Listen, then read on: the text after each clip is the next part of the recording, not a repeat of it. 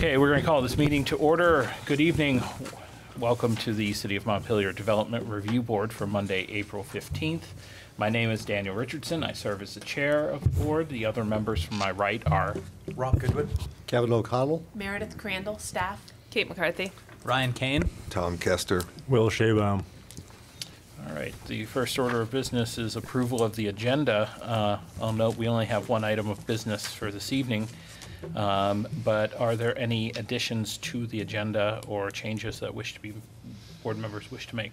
Otherwise, Well, let's the. Staff would like to actually make a change, if you don't mind, Chair.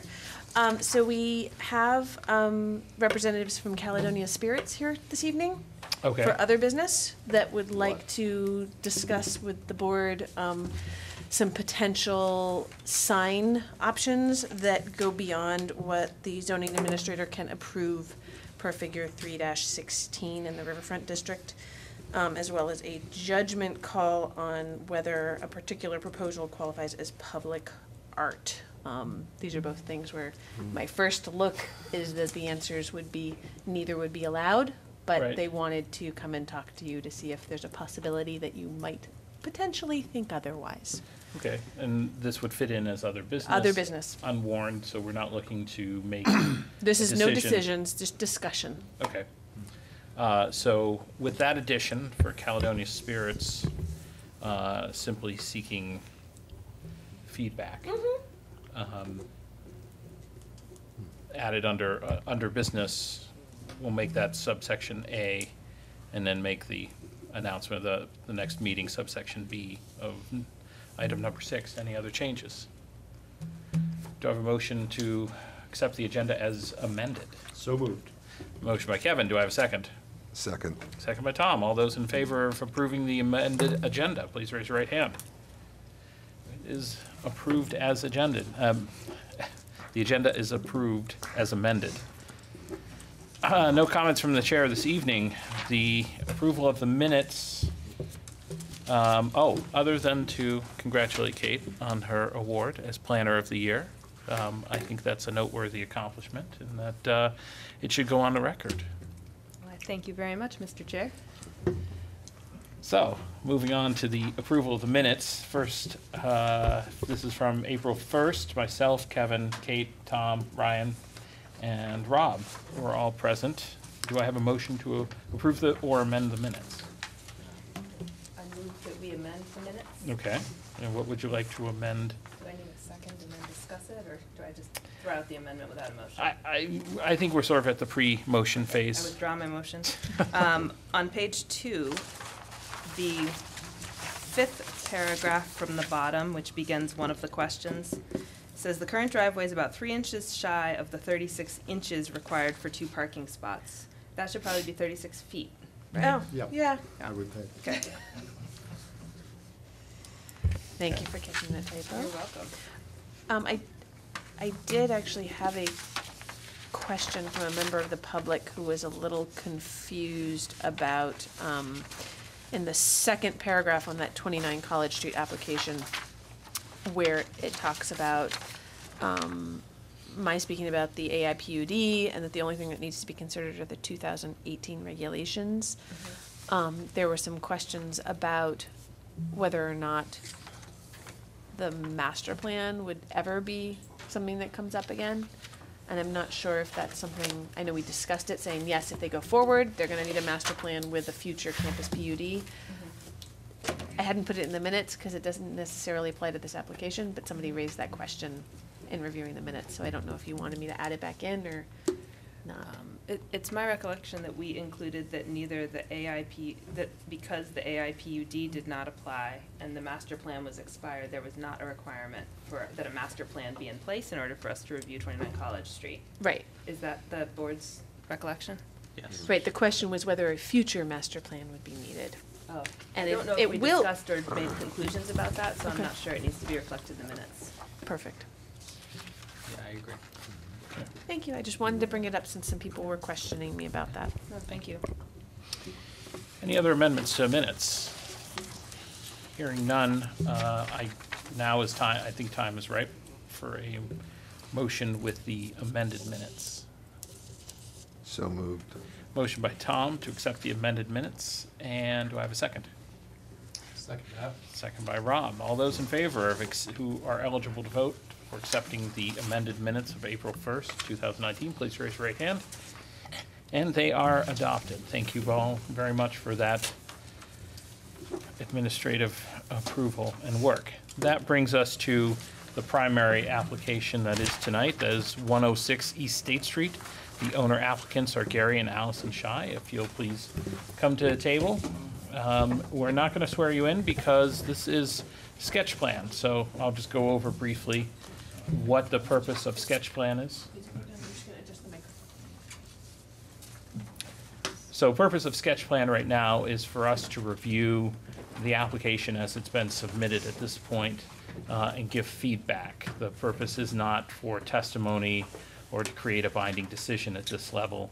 We used to, and under the old zoning bylaws, uh, actually make a decision at this point of whether to have a two-part uh, subdivision process afterwards. The new zoning and subdivision regulations do not call for such a decision. So this is strictly a feedback opportunity at this point. However, um, you know, it is an opportunity for you to get a temperature of what the board is thinking and uh, what we're looking for and what issues we see or spot in this application.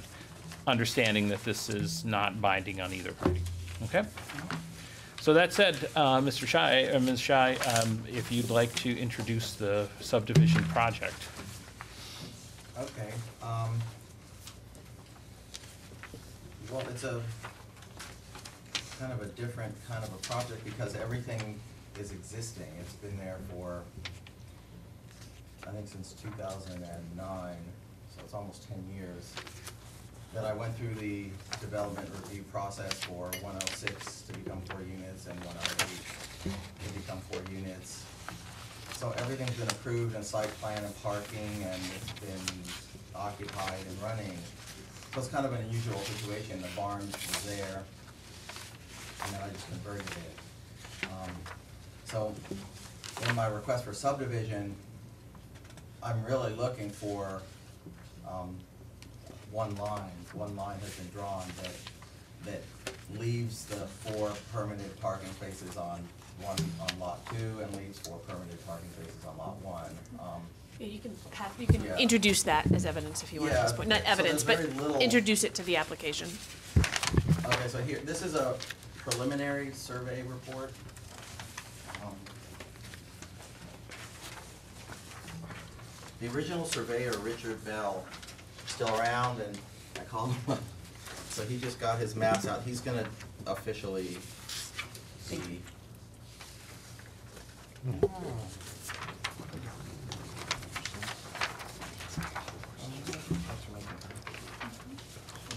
Hey. Good, thanks, Gary. There you go. Thanks. And there's for you. And I asked him if he could just draw this up for this meeting. It, I don't know that it's gonna change. He's gonna then go out and actually measure everything. I did notice, um, the lot size, it says 0.18 and 0.14, But I have the original map that says 0.54 total acreage. So there's a little, there's a number something going on there. So I, so I don't know if that's, I, just wanna point that out, that isn't hundred percent accurate, but this is a preliminary.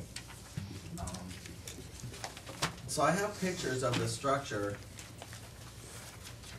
before, before I bought it.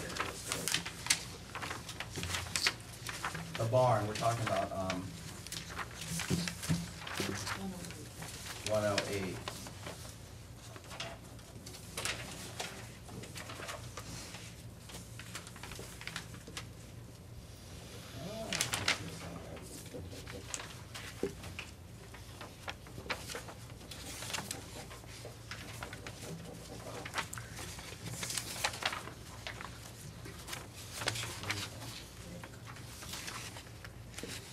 Sorry, bear with me.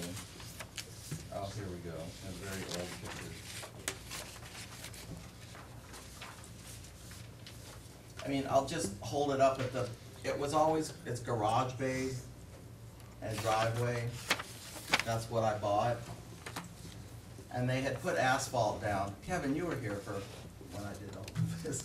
Um, So they had put asphalt down, which raised the level, so the, the, the ground was above the sill, so the building was rotting. This corner had dropped like eighteen inches and the building was, was on its way out and the foundation was crumbling underneath and so I got permits to remove the asphalt. I have the development review board document here when I asked, can I remove the asphalt and put crushed stone in there? And they, and design review allowed me to change the roof, to put a new roof on, because I couldn't replace the historic slate, so I did that. That was the first step, just to try to save the building. Um, so historically, it's always been driveway, it's always been stone, it's always had ingress and egress from horses to tractors to cars to, so that's what it historically always was. Um,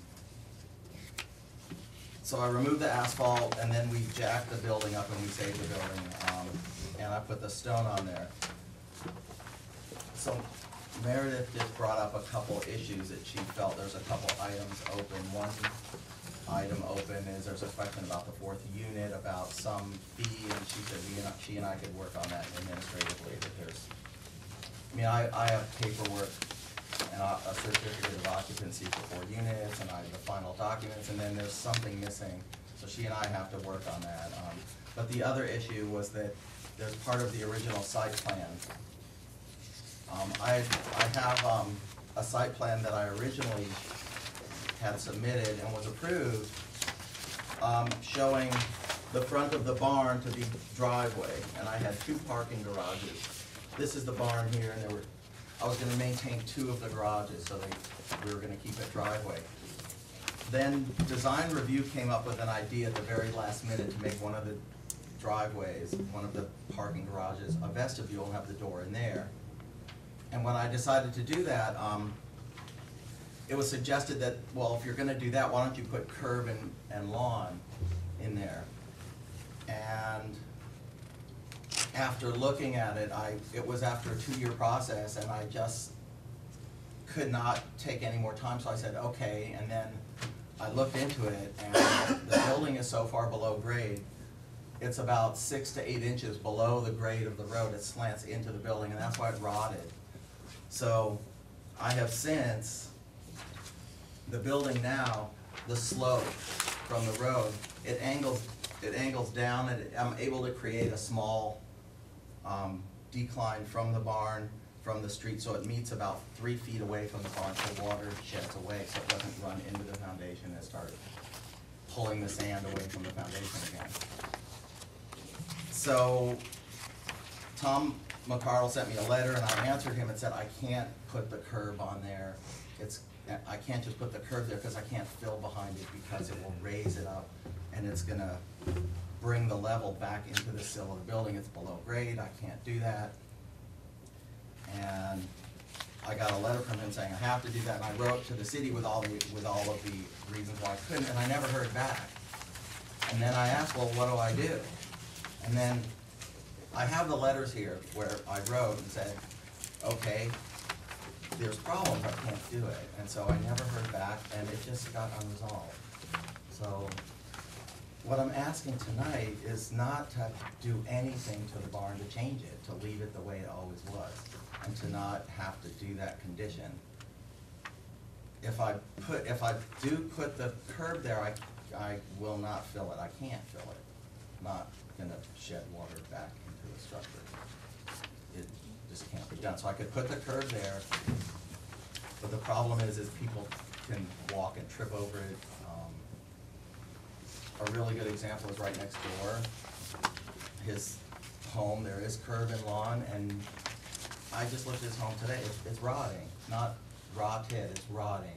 It's rotted, because the lawn is up to the sill of his building, and he has to try to deal with that. Um, So what I'm asking is to just amend the the, the final site plan back to the site plan that showed this being driveway, back to, the design review also wanted me to maintain that as driveway because it's historic.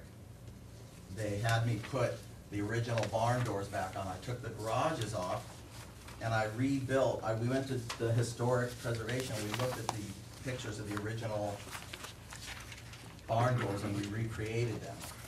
Now, a couple of those are fake, but with the driveway there, it looks like there's, there are, there's movement going in and out. If you block that off, then it looks like they're fake. And design review was, wanted it to be crushed ledge, that's what the original decision was, we put that in. Um, So I'm just asking that the final site plan go back to the November two thousand and ten site plan, which shows it being driveway, and just leave it as driveway and not try to put curbs. So that's, I hope I filled.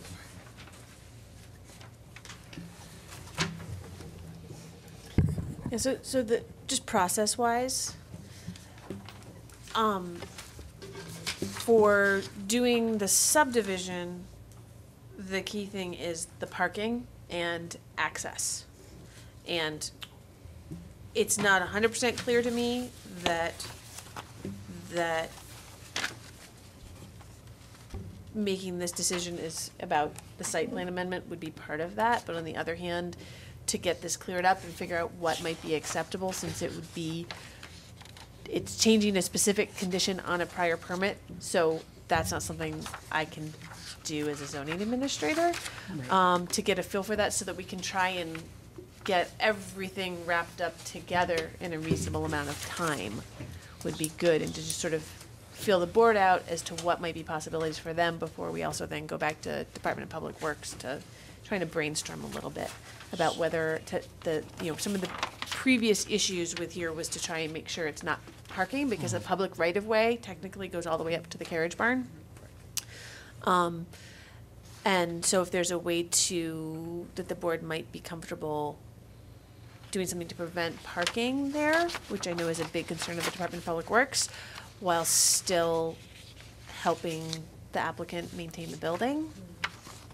So hi- history question in keeping with the process description. Mhm. Did the condition that has been described come out of the de- design review committee's review or out of the development? Where'd it come The, from? the condition of, for the curbing, For the curbing, And for the th- yard? for that the- came from the Development Review Board after the Design Review Committee was done. I- So was it based on the recommendation of the design review committee? That's my recollection. Okay. It, it started, it started that way. Hold on a second, Mr. Shy. I, I direct the board's attention to the February 20, the, um, sorry, the April, it's actually issued and dated April 5th, 2011, but it's the decision that's in your packet in the back, uh, from the original Development Review Board, uh, back in 2011. And it says, uh, under findings and conclusions, six, seven, and eight talks about these particular areas. Um, So it it may have been born out of the design review committee's um, examination. And don't forget, this is back when the design review committee's findings and decisions always came to us. Right. Uh, But this is a design review and a site plan and a variance, which was being requested at that time. Um, And there are, there are three findings and conclusions about what the, what the application will include. So these aren't conditions, these were representations of what were accepted, so, um, and were, were, part of the decision. Um, And if you can see the attached maps, I was on the DRB at the time as well, and we had a great deal of discussion, in my recollection, because of the right-of-way issue. And it was the board's feeling at that time, as Meredith has just echoed, um, a concern about the right-of-way. Uh, The fact is that the right-of-way goes up to the front of the building. Having cars park in it creates a great deal of problem. Um, And frankly, is maybe the only place on the street where that, where that occurs, um, directly in front of a building. Where the old place where they park? Right, directly in Oh. front of the park. Well, Not really, no. But at least in this, at least in this immediate area, I mean, you're just looking at the map. Next The door- house next door, excuse me. And State Street, just down the street, the people The have house a next door. Okay, a parking lot exactly the same. Ne- never- standing from that location, you can see three other. nevertheless, this is a, Exactly. this was a concern of the boards at the time, and I think it's still a concern, given what, uh, Well, Todd McArdle in his April first memo basically is saying it hasn't changed. And that the, that the issue with the right of way is the same as it's always been, Well, so.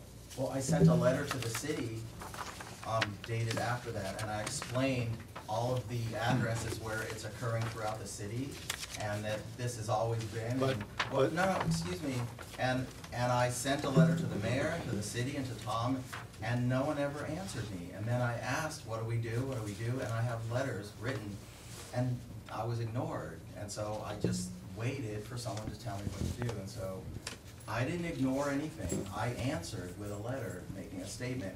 And when I pointed next door, and the guy next door, and then I pointed on, on State Street where they have parking right along where there's no sidewalk, it's on Hubbard Street where I live, right across the street, all the cars. Um, Justin Turcotte, his house on Wilder Street, city council member, the parking is right in front of the house and all the cars are lined up, and so We can't, I asked, what do we do about that? And they just, the city ignored my letter and never responded, so. Gary, I tried to there's, get an there's, answer. there's a long history here. It goes over a period of, of at least ten, maybe fifteen, maybe twenty years. But nonetheless, there's a record of the city trying to work with you, coming up with a reasonable solution, and then we're left here holding the, the, the remnants of your non-compliance. I, I saved a historic building that was Well, that's great. crumbling and That's great, but that's not the I invested issue. in the community and made more housing. I did ninety-nine percent, and I would like to bring up, because I feel like, you know, no, I'm, I'm gonna speak freely and not worry about making friends. I'm gonna speak the truth. There are so many site plans where people, when they actually come down to doing it, weren't able to fulfill them, and I know them throughout the city. The mobile station, I could point them out everywhere.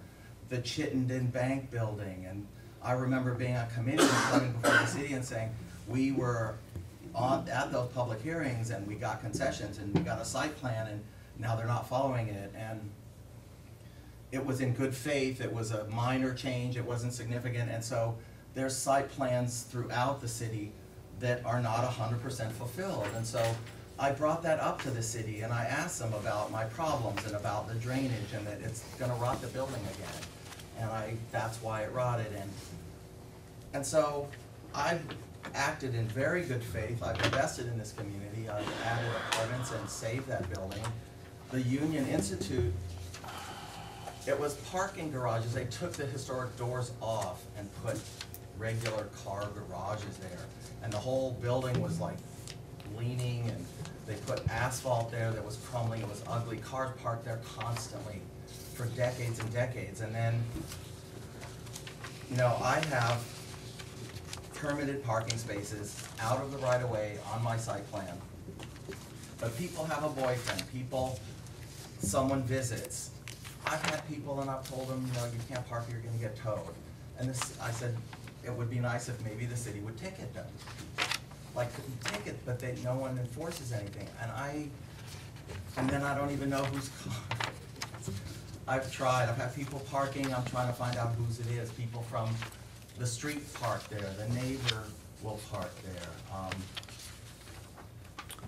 It's all, it always was parking and people are into that habit. Um, I think that if the city wished to enforce this as a problem, it would be good if they would go to the city council and ask the police department to go around in cars that are less than one foot from the street to just issue, let people know, like this is a warning, and then give people tickets so that I don't have to be the parking place. But I think that to put all the responsibility on me, on the historic driveway, that's always been a driveway, and to start policing it. I've never seen a problem, it wasn't a problem for the hundred years that the college owned it. It hasn't ever been a problem. The plowing, the, I haven't ever witnessed a problem. And so I'll put the, if you want, I'll put the curb and I'll put a little bank of dirt there, cause I'm not gonna fill it to the house, that, I'm not going to do that, but I could throw some grass down. But it doesn't seem, it seems like, on, what I'm asking is not to change the historic building and leave it the way it's always been, and that's. But you, you've, you've changed the historic building. It's no longer a garage, it's apartment buildings. The whole purpose of having entry and exit when it's a garage makes sense, but it doesn't when it's an apartment building. And back in 2011, when we had this discussion, the idea was to create a yard for this and no longer have these parking directly in front of the building. And as before, um, you know, you represented that you could, you could do this and that this could become a lawn and curbing could be put in. So I, I, I'm only one board member, um, but I'll give you a very strong indication of where I'm coming from is that, um, you know, I don't see it as, and there's a landscaping component to subdivision as well. Um, I, I don't see this as its use as being a driveway anymore. You, you've changed it to apartments. This front of the building has to reflect that. Um, Okay. because of the right-of-way issues, I think that creates an ongoing problem with this lot. And given that your proposed drawing um, has actual parking places, creating a lot um, will be important where that parking is used as opposed to the front yard being turned into, into parking. And that's, uh, I think that's consistent with both the way we've done the subdivision uh, bylaws and the way in which this particular lot um, has been viewed. Uh, So the idea of keeping this as a driveway doesn't make sense anymore. Okay. Um, And so, you know, there are, part of our review here is simply to look at what these lots are gonna look like after, if we grant a subdivision application. And I think this is one of those key areas where this is, you know, it doesn't prevent us from looking at this as a subdivision application. If you want to come back to us and you want to make this argument, which you started to make, of saying, I want to, I want to turn, I want to keep this as a driveway. I, I, I'm not receptive to that argument. Again, I'm only one I board think, I, member. I think we're getting a little bit ahead of ourselves. I mean, that, the application here is for a subdivision. I think what Meredith was saying is it may make sense to address these, and I heard a request for an amendment to the site plan. But if you want to amend the site plan, we need a site plan amendment application, and then we can consider it. I mean, but as of right now, the previous site plan has requirements that were unappealed, includes a curb and some grass. If you want to change that, you need to go through the legal process to change that, and this subdivision application is not that process. Yeah, one, one possibility though, if, if we are thinking landscaping with regard to subdivision, and part of that is also in, in front, not just privacy, if there was a discussion of maybe having some landscaping in this front, what's, what's driveway and what you submitted versus what's yard from the approved, that was approved in the prior permit, you know, if we wanted to add landscaping up there, would that almost be a combined subdivision and site plan amendment request, or would they be No, I two think- separate still? I I don't, I think Ryan's actually correct Right, yeah. in, in noting that, uh, you know, as an unappealed final Yeah, subdivision, Should be a um, site plan we amendment. can't, we can't backdoor in mm-hmm, uh, changes to the existing permit. yep, but it would still need to, it would still need to come here because it was a, s- I- well, it wasn't a condition, it was a finding, It it was, right? it becomes a condition. All the factual findings of Yeah. that nature become conditions of the permit. What the Yeah. applicant Yeah, proposes so it would is- need to come here, Yeah, I mean, and I think Still. for purposes of this subdivision, wh- what we have, I think, you know, that's interesting, because what's on the ground certainly doesn't comply with what is legal, what's permitted, what the, the existing site plan says, which is a curb and grass. Um, so it's, I, I mean, if it were in fact grass, if it did in fact comply, I think we could require landscaping or s- suggest landscaping be placed in that grassy area. Um, as, as the chair was suggesting we might do, but Mm-hmm. at the end of the day, I think it's up to the applicant to determine, you either, you either need to figure out a way to come into compliance with the prior approval, or you need to seek an amendment of that. And, and I think it makes sense within this process, because you're here, you're getting this subdivision, that we could certainly, we do it all the time, where we hear multiple applications together. We could have the final subdivision application and the, uh, site plan amendment, just all at one hearing, where we can kinda look at all this together. And that could be a way to, to just kinda get through the process a little bit more quickly. Just a suggestion, it's totally up to you how you wanna do that. And it's, you know, I, but I don't, I'm, I'm a little cautious of us starting to talk about, uh, you know, what we'd comfortable with as far as site plan amendments and not when it's, when we haven't had a proposal. You know, and it's up to you. If it's a, something, you know, more than what's currently there, but less than what was previously required, then that's what we'll consider, you know, if that's what you propose. If it's, nope, I wanna keep it exactly as it is on the ground right now, then that's what we'll consider, but I don't really think it's wise to get into it until we have an, an application for something. I'll stop talking now. That's I'd like fine. to Say something if I could. Sure. Now, um, you made a very good point, and to be honest, I, I wish you had made that point to me, I would've, you're right, I did change the building. It's not a garage anymore, it's not a storage building, it's for people living there, coming and going, and you made a very, very good point. So, I mean, I'm willing to meet the criteria of the original plan. Um, Like, you know, I'm not, I may not be able to go all, I can't go above the sill of the structure, but it can be a yard. And I could get some kind of something growing there and we could landscape it and. Yeah, I just, um, Go ahead. So, I'm just wondering if I meet the criteria, um, yeah, are there any other issues? Because I think hearing Dan, um, and Kevin have made some points that maybe that's my path. I'm glad we're having this because it's a good That's what it's for. discussion, yeah, not a That's what it's formal for. thing, because Yeah. you're getting ideas to come back to you with, so. Gary, Yeah, have you, have you seen the uh, April first uh, memo email from Tom McArdle? Where he suggests, I've I've seen that, yeah, okay. Yes, I have it right, right here. I- I'd be glad Go to ahead. talk more about that. I want to reflect back something based on what, what Dan said, and, and I also heard your concern about the, an interest in the historic nature of the building. Um, and say, say, you know, maybe the driveway is historic in some way, but I would just point out that on the twenty eleven site plan, which has the yard and crushed stone proposal, that came out of the design review committee's conversation with you. And so I think perhaps that gives some assurance that, um, they're very historic minded too. So if it's okay with them, it's probably okay to, to really demarcate that shift from being a garage to apartments, like, like Dan was saying. So I, I think it makes sense from a historic preservation perspective. If it's okay with the DRC, um, I think you can feel good about it.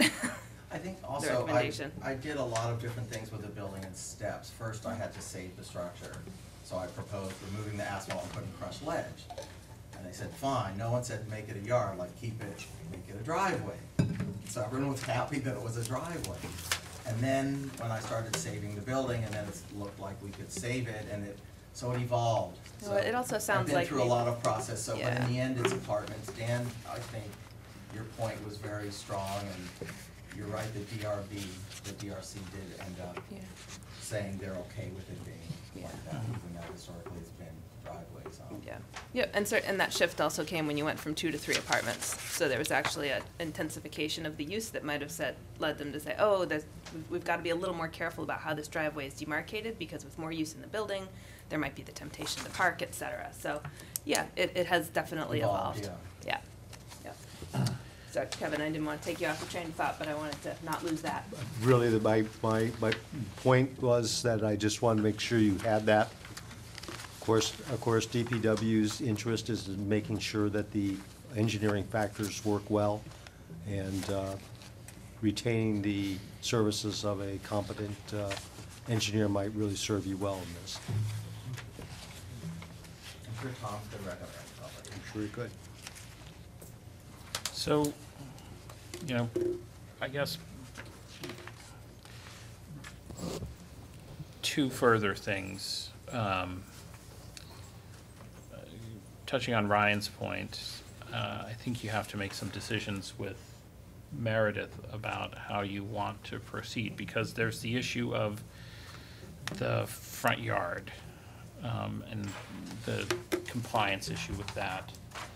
There's also the units, um, for zoning purposes. I know you've received building permits for all four units as far as certificates of occupancy. Yeah, all this, everything, yeah. I- But, I yeah, wasn't which- aware that something might have been missed. I, I'm, that's why, I think it's, i- i- in Meredith and you can work out how you want to proceed, but those seem like to, um, so if you, if you don't, if you're gonna come into compliance with the two thousand eleven permit as opposed to seeking to change the two thousand eleven permit, then, then that's much easier, then I think we can probably take that, and she may have some additional information she wants from you as far as the amendment, because, um, by adding the additional units, you are amending the two thousand eleven, because I was looking at that, that's only two units, uh, which were granted at that time. I know it's been bumped up to three by administrative amend, Yep, there was an administrative amendment And to then- bump the units up to three, and we don't have to worry about site plan changes with those so much. Um, because since all of that happened, we had the two thousand eighteen regs, which reduced the parking requirements. Right. And so I think just coming into, com- coming into cli- compliance on paper on the fourth unit, and then um, uh, that way it's, we're counting the right number of parking spaces that you need. Um, And then, so there's those issues that I think you can work with Meredith about. And then when you come back, obviously, we want to see um, if you are keeping the landscaping in front, one of the, or the- as 2011 talked about with the, with the permit, with the yard and the curb, um, we'd want to see a landscaping plan as part of your subdivision proposal, just to see how that's going to comply. And one of the issues that we, as I was indicating before, that we look at are, is landscaping as part of the um, subdivision application permit. Some of it, at least, I don't think is going to necessarily be relevant here, which is we usually encourage the applicants to put in landscaping that, that helps uh, reinforce the subdivision between the properties, giving privacy to both. But in this case, since there's a shared driveway, that may not be as practicable. Um, But uh, I think we will want to see, we'll want to see the, the sort of plans that either what you have existing now and what you're proposing to add um, or change.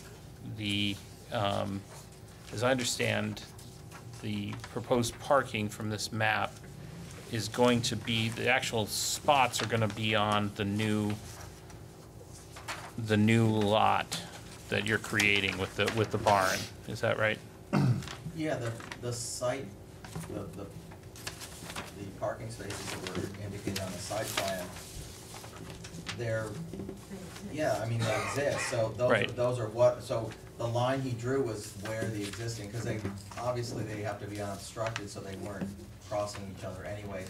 But it- And it's, it's interesting, that line, as far as frontage and all the other requirements work very well, Mm-hmm. so they happen to be in the right space.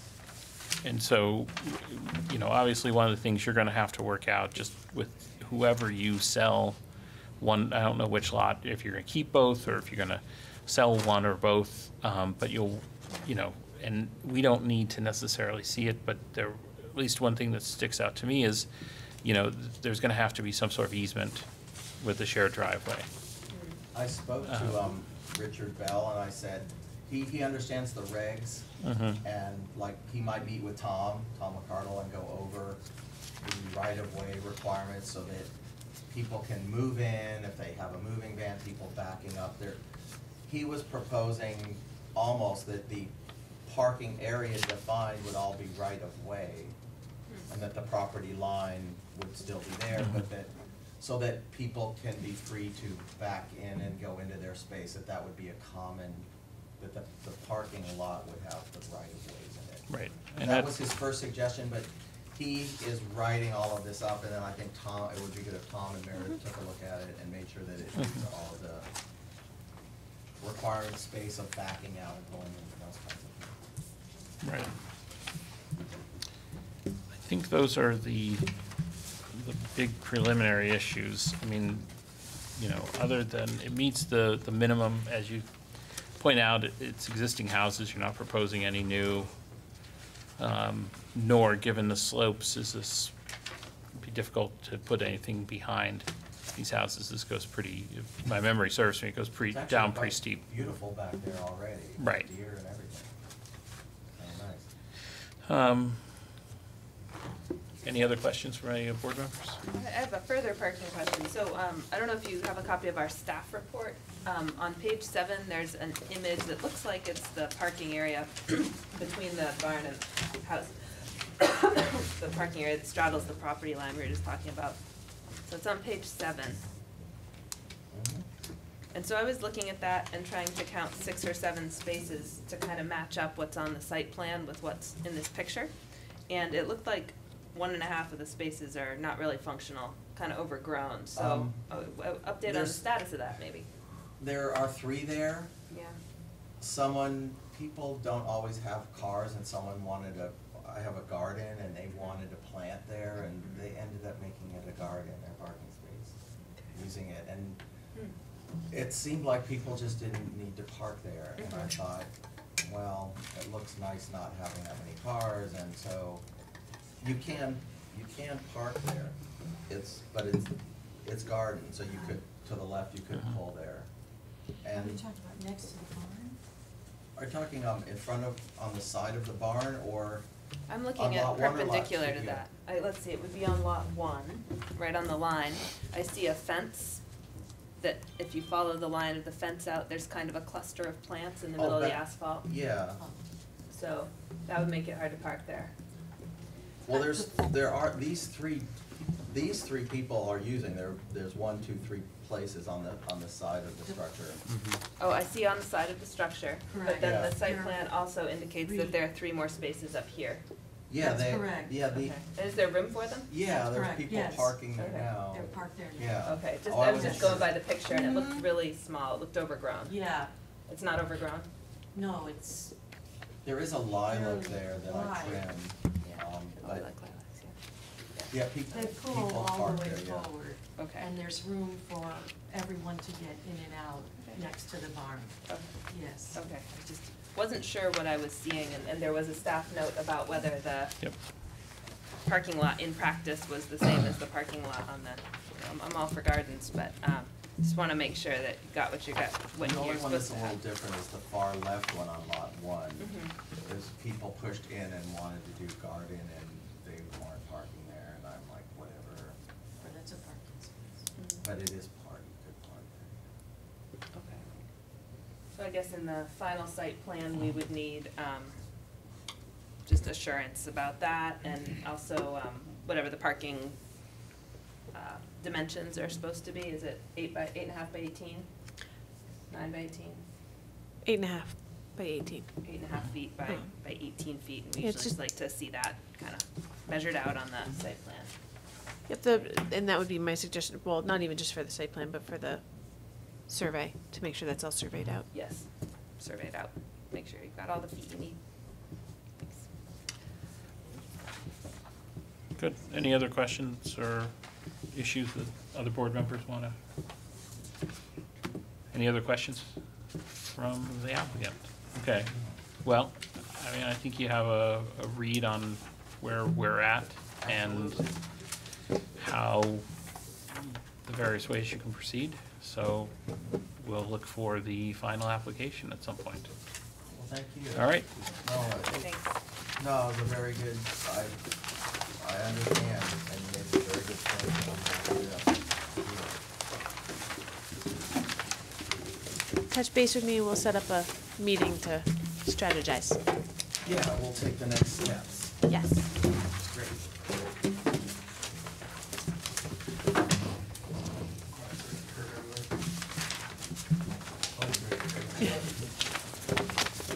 Expensive, Well, there's a debate about that. It doesn't, uh, graded curving apparently does not. Thank Thank you, everybody, for your time. That's true. you. That is true, you're right. Thank you, If Gary. if you look at, if you look at external uh, costs, you're, I, I could see that, that you could make a pervasive argument. Yep, and they look, they look great. Please come forward, uh, if you just introduce yourselves for the record. Of course, we're neighbors. So I- I'm Ryan Christensen uh, with Caledonia Spirits. This is my colleague Anna Brumley. We're here for advice. So, as hopefully you guys know, we are uh, moving in on Barre Street. Mhm. Uh, We're about a couple months away Oh, thanks. opening. We're getting really excited, excited about uh, signage. Um, When we chose this neighborhood, we were incredibly excited about sort of the industrial nature of the granite shed. So we, we designed this building uh, to kind of fit into that um, industrial granite shed. Um, we- We were hoping that we could design a facility that was beautiful, but also sort of um, put a light on the, the beauty of the neighborhood that we're moving into. Um, At the same time, we still wanted to look and feel like a distillery from all angles. Um, So when you look across the river, it clearly looks like a distillery. You see the the grain silos, um, in the big window, you're gonna see the, um, the big uh, still, her name is Phyllis. But it's a five hundred million copper hot still, it's gonna be beautiful. Um, Well, she's already beautiful, but she's gonna be beautiful in Montpelier now. Um, The challenge that we're having is on the other side, on the north side facing Barre Street. Uh, When we designed this facility, we didn't realize how visible it's going to be from, from Barre Street. Um, So if you look from the, uh, the west, that's the second photo here, this is down on Granite Shed Lane. We're really happy with how this came out. It truly looks like just another granite shed along the way, uh, which we think fits in quite well. Um, But if you look from the, um, from the north, there's just this big gray wall, and um, that doesn't really scream distillery. We really want to let people know that it is a distillery. Um, So we've looked at sort of some signage plans. We looked to um, sort of the communities that understand distillation best, like Scotland and and Kentucky. And we've got some examples here um, that just kind of show sort of the language and how they communicate um, the distillery. And we think that we have an opportunity to do something very similar. Of course, that doesn't necessarily meet the zoning regulations of Montpelier. So I'll I'll cruise through these. We can, we can stop at any, any specific photo, but these are really just sort of inspiration as we travel around the world and see the distilleries that we love, what we want to bring into Montpelier. So, and then additionally, you know, there, there are some, some um, examples in, even in Montpelier of, you know, big sort of signs that kind of represent the use of the building, like the restaurant sign over, over Necky and the garage on the, the wonderful garage building behind Julio's. Um, So what we're proposing is that on, on the Barre Street side, we could add, and this is just Photoshop on there, of course, but just some, uh, uh, lettering that says distillery, something that really speaks to the agricultural use of the building and lets people know that this granite shed is not like all the other granite sheds and there's something, something more interesting going on.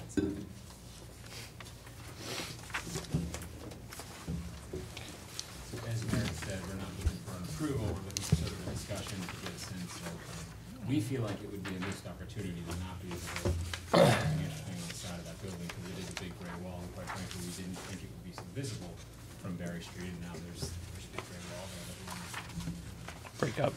break up and, and add to the community a little bit. And also let the tourists that are looking spirits know that, hey, they, they found it. Are you looking just to paint on distillery on the side of the building? I think so, would that be paint? We're open to all material Okay. suggestions, paint or, or metal or a styrofoam. um, Can be one-dimensional on the building or, or in three. And, and quite honestly, my personal preference would be that it would look a little more distressed and old, you know, like it might not really, it's not supposed to be the most visible thing, it's just supposed to be, just speak to sort of the usage inside of it. Would this be illuminated at night, or is it just, just have it up, during the day if you drive by, you see it, and at night, maybe you could see it from the road, but you're not looking to put like outdoor lighting or anything like that to? Definitely not, not Okay. there, I mean, honestly, I would look at, um, Ah, here we go. photos from Scotland. Three, those three, really zero. Articulated best. Um, Does the state's billboard law only apply from a state or federal highway? If I'm not mistaken, billboard law is, is to somebody else's land. Offsite advertising, Exactly. okay. Um, Okay. No. So the, the maximum sign area and height requirements are in figure three sixteen, which is on page three thirty-five in the zoning regulations in part three. Um, I can't remember the exact numbers we came up with for the total square footage when we calculated all of the facade widths. Um, but the, the distillery sign on its own, because you have to measure with a rectangle drawn around the sign elements, um, I think was much in excess of what the total signage allowance was for the whole building. What is the current ma- maximum? Well, I can explain how we came to our math. Yeah. On the last page of the presentation here, um, we measured the linear square feet of all but the west-facing facades, um, which we use public-facing facades, um, and times that by point 0.3 square feet. So we, uh, calculated hundred and sixty-five point nine, uh, maximum square feet of wall-mounted signage. The proposed signage that we have here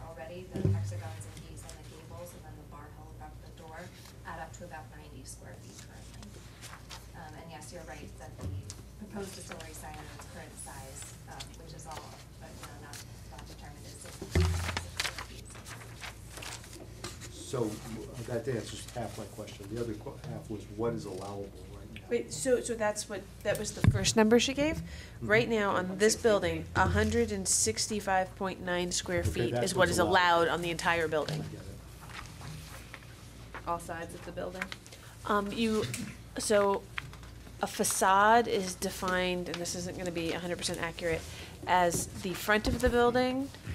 And the way it's written right now, you can also include side, sides of the building that face a public area. Um, and it's kind of loose, so I've been defining that with some flexibility. And the way this building is built and presented, really, you've got the front, which is towards the parking where their main entrance is, which is one of the shorter sides, and both of the long sides really face public areas. One is on the river, and one is on, um, it's not directly on, but you can see the whole length of it from, um, Barre Street. And if I can just point out that, um, most of the, the Kentucky and, and Scotland photos, those are brand names. We're not aspiring to be able to put Caledonia Spirits, we're, you know, it's more the use of like the restaurant signs, the garage sign. It's, it's really just an indication of what's happening on the inside, but we're really not trying to say, we don't, we don't wanna say Caledonia Spirits in the biggest possible way we can. I think the content of the sign would be irrelevant to our determination. Yeah, we're not supposed to actually regulate content. Which is a little weird considering we have a public art exception to signs, but, which has to deal with sort of the And, content. and and just so we understand, what is the, Arts around signs. where is the public arts exception? Uh, the public, so, public art, Is um, that is in the defi- it's a definition. Um, so public art is defined on page five dash fifteen, so it's section five one zero one point P sub eight. Um, What and. page, what page is it? So five dash fifteen. Um, so that's how, where public art is defined in the definition of sign. Um, the definition of sign specifically excludes, uh, public art. And that's on the next page, five dash sixteen. And public art, um, specifically, uh, does not identify or draw attention to a business, profession, or industry, to the type of product sold, manufactured, or assembled, or the, to the type of services or entertainment offered or available on the premises. So I don't think the distillery can be thrown in as public art and get the exception. I know that there was a discussion at one point about maybe doing art on the side of the building and not just the distillery sign. Is that correct still, that that might still be a possibility? Yeah. Would that even become a tricky line to walk if it has to be art that is art but does not identify or draw attention to the business profession or Right. industry or content sold? And I know that there was, there was Take dis- some of the fun out of it for you. We wondered, for instance, if we wanted to mural bees and things in the Mhm. hive, does that constitute advertising services offered there? And, uh, yeah, I was leaning towards, yes, unfortunately, as a zoning administrator, it would, it, you know, it, it, it runs into problems. Where do you draw that line? I, yeah, and that's, Great I don't know, question. that's one reason I brought the discussion here. Well, the, the easy line is, Roasters has a landscape, you know, is that, kind of- is that branding, is that? I, yeah, I mean, all, all- don't right know. now, the, I mean, uh, distill, the word distillery is very clearly, No, no doubt about it. That I hear. not the claim. um, yeah, I mean, I don't know. yeah, I will say that whenever there's any sort of ambiguity in a regulation, it's to be resolved in favor of the free use of land. yeah, and that goes Such towards that- being able to do the actual art mural. Yeah, so like Right. bees, Yeah. I, I would be comfortable with bees. Okay. I would not be comfortable with like bottles of gin, you know? Um, I- I- so that's, I mean, but it is subjective and it's like, I think we'd have to like have a proposal and, and kind of review it, but. um, Or, or a or you'd appealed have- permit, You'd have to uh, review it. yeah. Well, and uh, It's- i- if I understand this, this exemption to the exemption, um, Exemption to the exemption. which under not eight C is, it's really trying to avoid the advertising billboard quality. Uh, So, as Ryan suggested in one hypothetical, if you had the different bottles of gin that you sell or spirits, you know, shown there on your mural, that might run afoul of this because it's, it's con- contrary to this limitation and it's essentially advertising unless, as opposed to, you know, um, a mural of bees and honey and hives and uh, even some of the, I would say even some of the sort of, you know, you think of these art murals that would de- depict the distillation process or something like that, like a Thomas Cole type thing. Um, I mean, that's different than advertising, uh, drawing attention to the, to the product. Um, because in some ways, you know, the definition is talks about bu- business, profession, or industry to the type of product sold, manufactured, or assembled. Um, I mean, I really see that as something where you can't advertise. So you couldn't, it's a limitation on advertising, not a limitation on the art itself. So, like the mural up at, I understand, that's just my, that's just, that's just my offering, is, otherwise, it's, it's somewhat meaningless as a, um, uh, as an exemption, um, you know, because you would not want to put a mural celebrating dairy cows or milk production on your building that doesn't do that, um, or, you know, doesn't necessarily tie into the theme. Um, but that said, I mean, I think that's, Ryan's absolutely correct that you can't, we couldn't go too far down that road without something specific. Um, That's just my, and obviously, we're gonna have different interpretations as to the degree of that on the board and what each board member is comfortable with. Um, But I guess I would offer that my sense in first, re- in first cut at reading this is very much, it's a, it's a, it's a restriction on sort of backdoor advertising um, and calling it a mural, um, as opposed to something that is more uh, artful, uh, public art. Can can I play with this idea a little bit with a Go ahead. hypothetical example that is not direction? Um, If you were to do some pollinators and some flowers and accessories, like their habitat, the rest of their habitat, would that, I, I'm just thinking out loud, would that identify or draw attention to a business, profession, or industry? No, it would draw attention to a building. Would it draw attention to the type of products sold, manufactured, or assembled?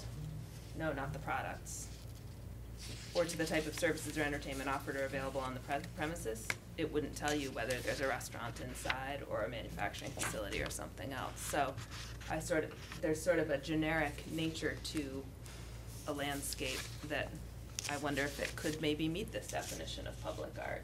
Mm-hmm. Yeah, no, I think so. I'm just playing with that idea. I think if you, if someone just looked at it in isolation with no context as far as what it was, if they would say, looks like that's like a gin distillery advertisement, or not, and if they say, ooh, that looks like some pretty bees and flowers, then I think it's art, um, regardless of whether or not it's kinda tied in. You could get like Green Mountain Coffee Roasters if they have Camel's Hump and the Green Mountains, which are like prominently featured on all of their labels, like as a mural. You wouldn't say, oh, a mural of the Green Mountains is now, you know, not public art. Um, Yeah, yeah, yeah, well, I'm thinking, I mean, I, I have a very specific idea in mind, only, um, we, you know, because we're, we're grasping at straws, but in Los Angeles, every movie and television studio, on the outside of their building plasters their shows, posters of their shows, all along the outside of the building. So if they have an Avengers movie, it's coming out, the big Avengers poster on the outside, and, you know, it's to promote their product. And that's what I interpret this subsection C to really stop, is that kind of sort of outward advertising, where, where it's not really art any longer. It's, it's really pictures that, advertising pictures at that point. Um, and I think that's, there's obviously, a- I think it's, Kate's description is, is quite accurate as to what is likely to be permissible and, um, or at least in, on first blush. And what I'm suggesting is that I think the, the lines, it's not like, she's not taking us straight up to the, to the line, and I think there's a, a little bit of a gray area in there. And, and if you're thinking about principles that guide you as you're, as you're plotting this, at least from the art, we're, we're talking about the public art, which isn't actually the picture you- you brought before us, but nevertheless has captured our imagination. Um, but the, uh, you know, the idea is that it, it, it forms an actual artistic mural or drawing or illustration, um, as opposed to, um, advertising. Um, and I think there's some, there's some very clear lines that could be drawn and some, some grayer lines, uh, that you could press against this because we really haven't had to deal with this exemption before. But I think it's also only fair to you to also talk about the word distillery on here. And, you know, if I understand correctly, would you be looking for a, like an exemption to the sign limit to put the distillery on? The word, okay. We have that power. Yeah.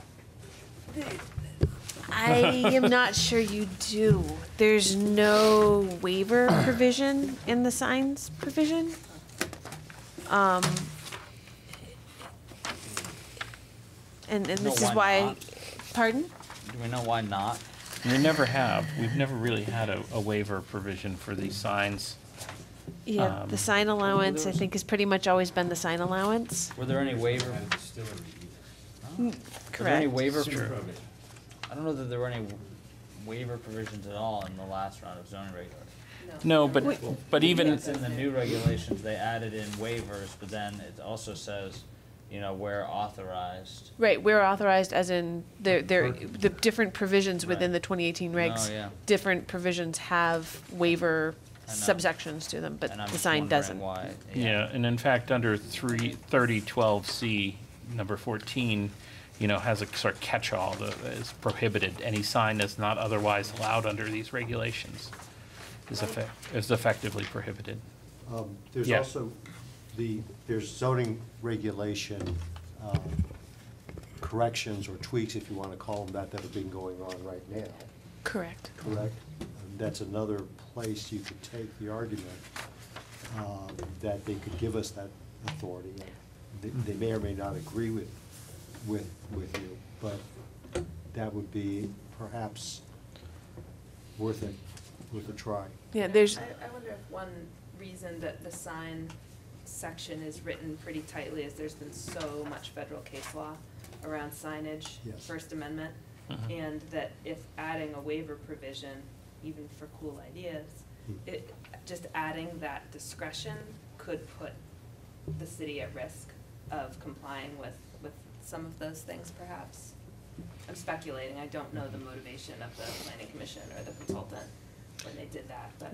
I, I know that there has been a push by the planning director to work on the sign section, on section thirty twelve.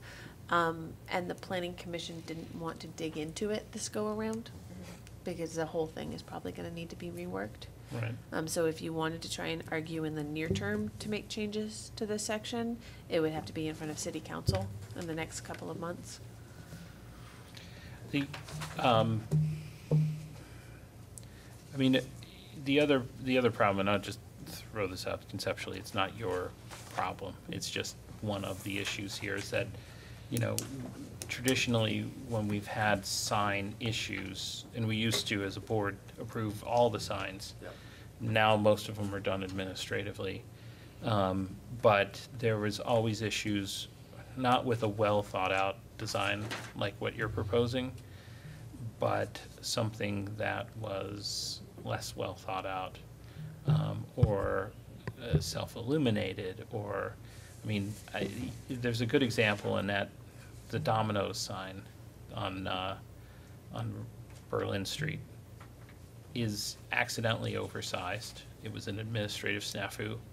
Um, but every time I pass it, it looks so big it, compared to the other signs. And it is not your imagination. It's, it's, it's an administrative snafu uh, that created it. But, um, you know, it doesn't fit in with the rest of the signs and the rest of the quality. And, you know, what I think we've always struggled with is how do we let in a very, a good design that in some ways makes sense and is consistent with the history as you've put together. I mean, this is, sorry, this is kind of like Gin Lane redo. Um, But where you have a, you know, where you have a history of doing things this way in the industry, and now you're butting against um, a sort of tradition in Montpelier of not letting these kind of signage uh, exist. And, and the question is, I don't think, I, my honest take is that we don't have the tools as much as we'd, we'd like to help you with the distillery sign at this point in time. That doesn't mean that it can't happen, and I think as Meredith's pointing out, the sign issue needs to be worked out, and it's not unreasonable for you to say, this is something very good that we want to do, and it's reasonable, um, and we should be allowed to do it. Um, That's why we have a planning commission that changes the bylaws and the rules. It's just that when I look at it, we don't exactly have that. And so, you know, the building's not going anywhere either. Um, And if you don't have the distillery sign on it in the first year, it, you know, maybe the second year, you can.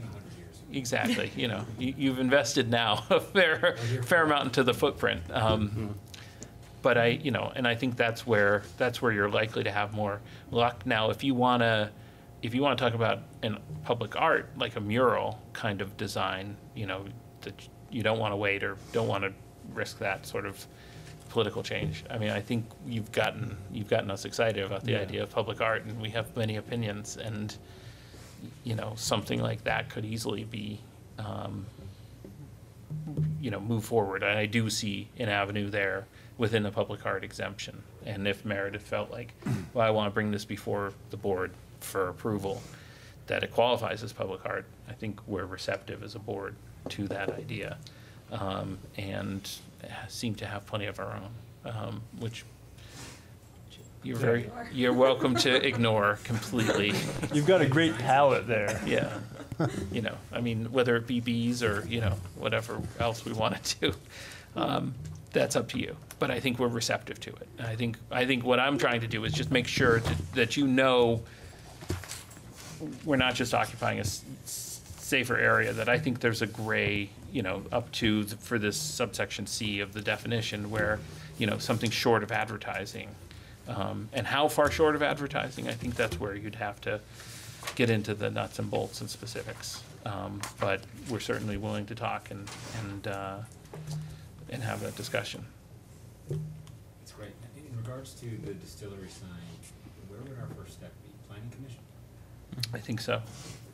I think if, if, I think planning commission would be one place to go. I think you also, you know, if you're trying to do this more promptly, you would need to get before city council as well. And you can, I, I don't remember the dates right off the top of my head, but shoot me an email.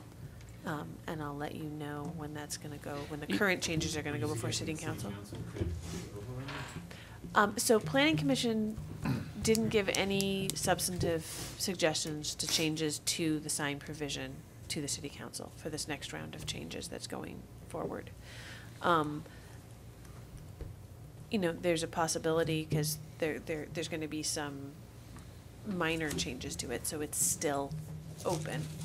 City council can make further changes if they want. I This- think, wanna talk to both. Yeah, and, I mean, but, I mean, the one thing is you'd have to have specific language that you'd be proposing at that time to allow. That's true. Um, So planning commission. It, I, I, what I guess I would probably talk about is, you know, you're a prominent project within the city. Um, and, you know, there are, the planning commission is the one that holds the power to make these kind of changes. And I think if you let them know about this problem, I mean, often the planning commission is motivated by, they're, they're in the unenviable position of sitting there trying to sort of think things out in the abstract. And if you can give them a very concrete example and, and really a presentation along the lines of what you're showing us here, um, I think that makes for a very powerful and persuasive uh, point. Um, obviously, if you had specific sort of regulatory language, and that may be helpful if you talk to Mike and to Meredith, you know, to say, here's the issue. Do you, do you have any examples or do you have any ideas as to what this would look like as far as something that would allow us to do this and then go before the planning commission? I think that then makes a very powerful conversation, but I, it's, that's my sense here is, and strictly as just more of a citizen than actual, uh, actually as a DRB member. Um, I think that they're the ones that can make the changes. Now, if the city council reviews this as well, I mean, they're the ones who get to make the final decision as to what's in and what's out. And I think that's what Meredith is suggesting, is that if there's specific language, that city council is the one who ultimately reviews, makes the, makes the final call. Um, But it may start with a conversation with Meredith and Mike, only because I think the planning commission depart, as a planning department, is often motivated by the ongoing needs as opposed to sort of abstract ideas. And so if you bring this specific need to them, that may help motivate um, everyone to make these changes so that you can move forward. So, sorry to have to make you take two steps back before you can go forward. But, um, but at least as far as the distillery idea, I see that as your clearest path, not, not coming before us Okay. yet. Great, thank you. Good, Good luck with that. yeah, Thanks. Yeah. so hopefully, uh, we'll see you again. In June, at the cocktail lounge on June Say hi to Phyllis. Cool, thank you all. Thank You're you. welcome. Thank you. Okay, any other business board wishes to discuss? Hearing none, uh, I will just simply note that our next regularly scheduled meeting is for Monday, May sixth, uh, two thousand nineteen at seven PM. That'll be our first May meeting. Meredith, what's, uh, what's the schedule shaping up to be? Um, three applications, two of which are steep slopes. Uh, Under the new steep Under slope? the- the new steep slopes provision with, under the interim. What area of town? Oh. Well, Uh, North Street is one of them. I won't be here on this side. I'll be sitting over there for it. Okay. so we've got North Street and then, um, uh, Upper Main. That, that actually reminds me, one other piece of business, uh, Will, this is your last meeting. Yeah, Uh, Thank you very much for serving on the board been a and pleasure. your service to making us uh, a better, a better board. Yeah, Maybe someday I'll be back, you know. Uh, It sounds like It's been you're, a couple of years now. yeah, It's been fun. yeah. Uh, You- We always need good anchors, you know? But as So- I said, you know, I'll be, I'll be here at the next meeting and, you know, probably more and more after that. And So, Good. Great. Well, good luck on all those endeavors. Uh, Anything else? Hearing none, I'll take a motion to adjourn. So moved. Motion by Kevin, second. Second. Second by Kate. All those in favor, please raise your right hand. We are adjourned. Thank you all very much.